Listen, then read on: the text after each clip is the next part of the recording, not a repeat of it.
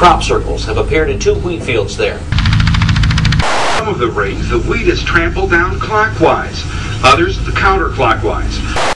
Is this aliens or pranksters? Mm-hmm. I don't uh, know. no evidence to say either way. So, exactly what made this mysterious design?